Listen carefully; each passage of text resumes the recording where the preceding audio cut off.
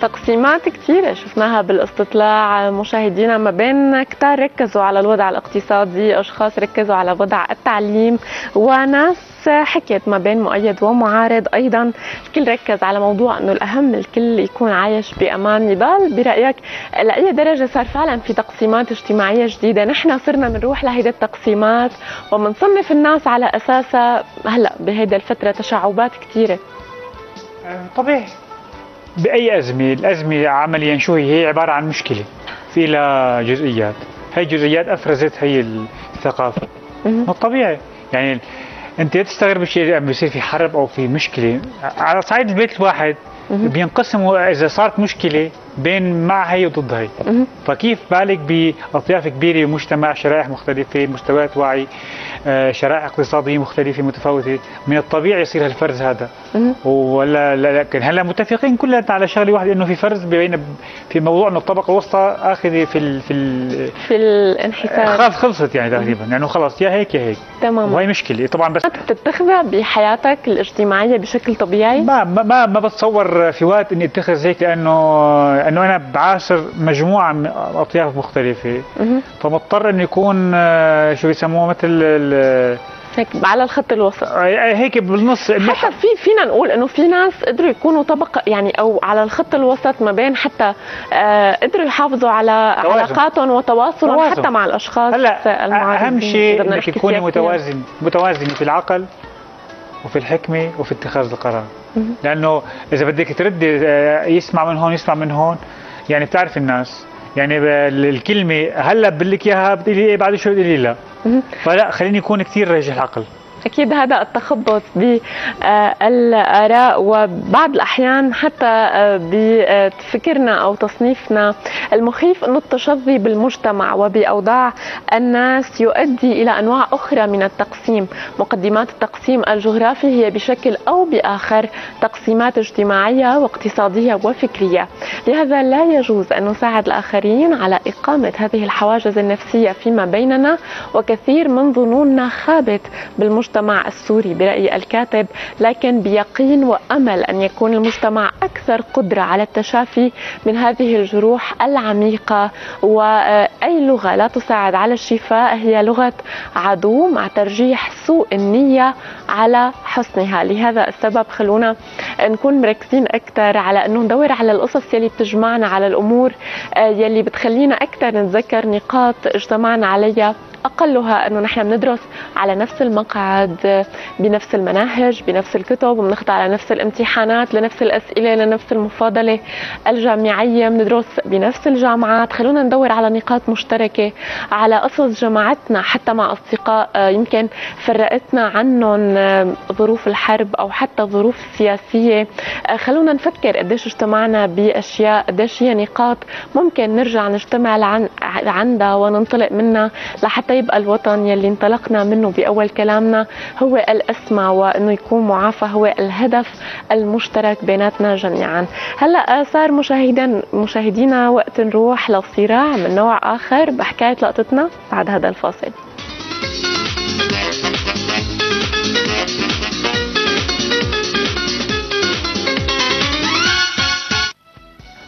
بعد أحداث رجل من حديد Iron Man يسافر باتمان لمتروبوليس لمواجهة سوبرمان خوفا مما قد يحدث لو بقيت أفعال الأخير دون رادع. وبعدين بيختطف ليكس لوثر حبيبة سوبرمان لويس لاين. ولما ذهب سوبرمان لإنقاذ حبيبته بيكتشف أنه ليكس لوثر اختطف أيضا مارثا والدة سوبرمان وأنه ما رح يسترجعها إلا لما آه، سوبرمان يأتي له برأس باتمان بخلال ساعة. هلأ سوبرمان راح لحتى يقتل باتمان وفي خلال عراك طويل يطلق باتمان قذائف كريبتونية بيكون لونها أخضر على سوبرمان. وقبل أن يقتل باتمان سوبرمان برمح من الكريبتون. يكتشف أن والدة سوبرمان في خطر وهي مارثا وهو نفس اسم والدة باتمان.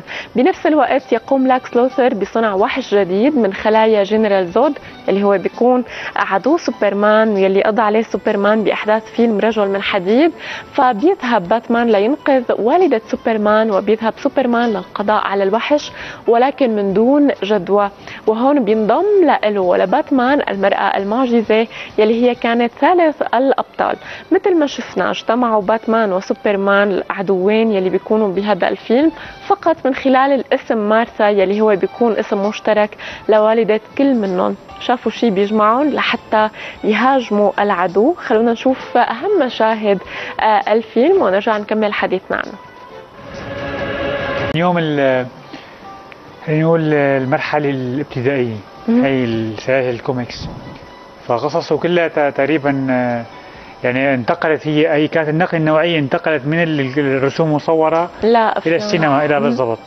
وتحديدا بهذا الفيلم آه، بيكون في أمور جديدة بالنسبة لباتمان وسوبرمان وبيتم إدخال المواضيع العلمية آه، فيها. يعني على ما يبدو لحتى تضل محافظة هيدي السلسله أو الشخصيات دوما لازم يتم البحث عن أمور آه، تضاف لهالافلام منها الأمور العلمية الأمور الطبية والتحديات الأخرى. تمام. واللي ابتكروا الشخصيات يمكن بدايات أو بالثلث الأول من القرن ال 19 يعني ما كان عندهم حتى عندهم كتبوا مذكراتهم إنه ما كانوا متوقعين إنه هل هل يلاقي على فكرة سوبرمان تحول حتى رمز شعبي.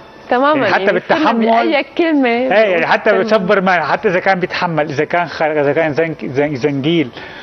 حتى بالحب صار في سوبرمان. أه.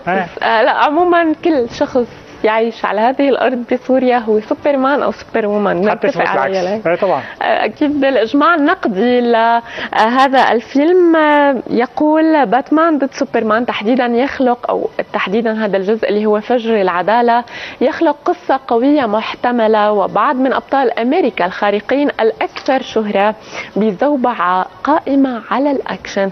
حقق الفيلم عدة أرقام قياسية بشباك التذاكر وحصل على أكبر افتتاحية للنهاية نهاية الأسبوع لأفلام ما قبل الصيف وحتم أيضا الرقم القياسي لأكبر على أنها تستحوذ على اهتمام الناس الكثير من الأفلام يلي ظهرت لسوبرمان ولا باتمان ولكن الجديد بكل فيلم آه، منا بيخلي الناس تكون بأكثر آه، شوق لحتى تتابع هالأفلام. ومثل ما قلنا كان في عدو جديد اتحدوا آه، امامه سوبرمان وباتمان. ودوما بيكون في قصص عاطفية بالأفلام وقصص بتحرك المشاعر.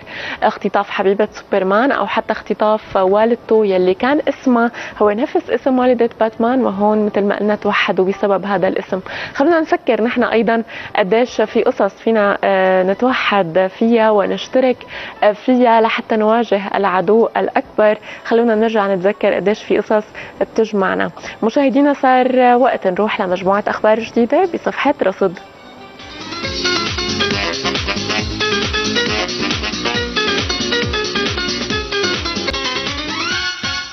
لأي درجة ممكن الشخص بموقف من المواقف ممكن يخسر الكثير أو شعبية ممكن يتلقى نقد بتصرف ممكن يكون خارج حتى عن وعيه بهذا الموضوع. يعني شفنا قديش اللحظة نضال هي فعلا مزعجة يعني ضرب القطة بطابة أنا فكرت كمل على باتمان فكرت هو آه فكرت تابع للفيلم هي فعلا مثل ما قالوا حلت اللعنة عليه يعني هو خسر بثلاث مجموعات.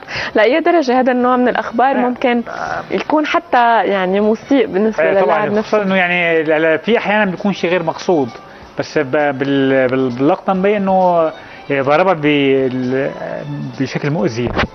هلأ بغض النظر عن الموضوع أنا ما يعني يعني بعرف بتخيل إنه في ناس بتحاول تبهر القصة يعني القصة هي يعني معلش إذا يعني بنلزمش له عذر بظرف يعني وخاصة بكثير من الأوقات بنشوف دخول القطط للملاعب شو هي هلا شو دخل على الملعب؟ هي حبت إيه. كانت تدخل يعني يعني هذا هذا الذي قيل عنه الفضول قتل القطط تماما. كثير من الملاعب بنشوف الأحداث إنه أنا بستغرب دخول قطط للملاعب لقطه معروفه مثلا بتكون بالبيت آه، عم تدور على شي فاره على شي شغلة. أما فاتي على ملعب تنس يعني في حتى ملاعب كرة القدم كرة السلة بنشوف كثير من القطط اللي بتكون موجودة بهذا المكان. السؤال اللي بيسأل إنه منين عم تيجي؟ يعني آه، أنا بشك إنه أحيانا بيكون في شيء له علاقة بالترويج بعض الأحيان يعني نوع من المباريات لهذا النوع. يبدو يبدو يبدو. أنا صرت مقتنع لأنه وجودها غريب يعني هي دائما القطط معروفة يعني حتى الكلاب يعني مع إنه في كلاب كثير كلاب جعارية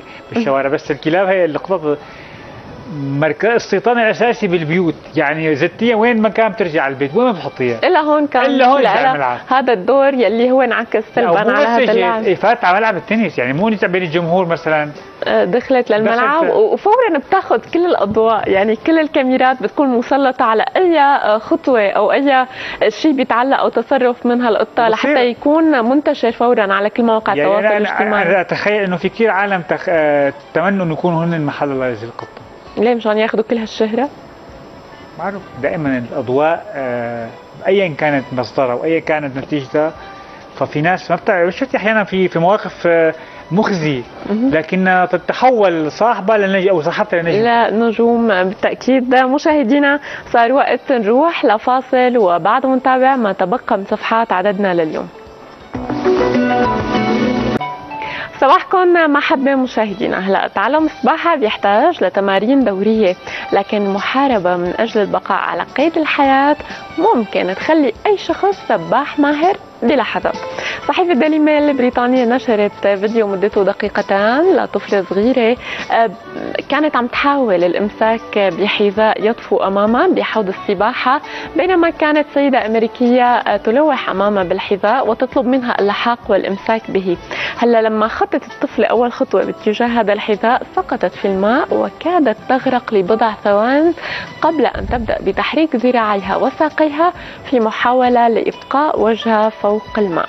نجحت بالفعل بهذا الشيء لحتى تسبح بشكل فطري وتحافظ على حياتها استمر الأمر 20 ثانية قبل ما تتدخل السيدة أخيرا وتنتشل الطفلة لخارج الماء هلأ الفيديو أثار جدل كبير بمواقع التواصل الاجتماعي حيث بدا الفيديو مقلقا للكثيرين عندما رأوا أن عائلة الطفلة لا تحرك ساكنا إذا ما يجري. ما جعل البعض يرى أن طريقة هذه العائلة في تعليم طفلتها للسباحة هي طريقة قاسية ومريبة فيما رأى آخرون أن تعلم الأطفال للسباحة بسن مبكرة أمر ضروري. خلونا نشوف هذا الفيديو وأكيد فيكم تحكموا عليه ونتابع سوا.